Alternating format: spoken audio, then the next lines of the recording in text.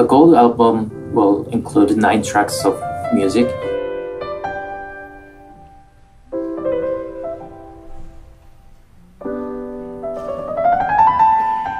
The reason I chose these specific pieces for the album is that I thought these pieces best exemplify what I try to do musically.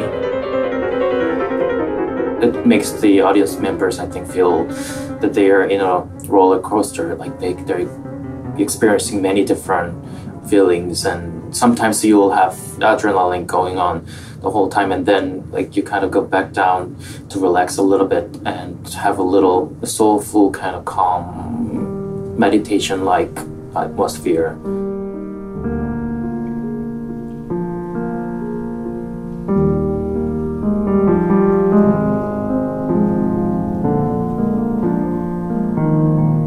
so i try to have a huge range of different dynamics and musical expressions in these pieces. That's why I chose these pieces for the album.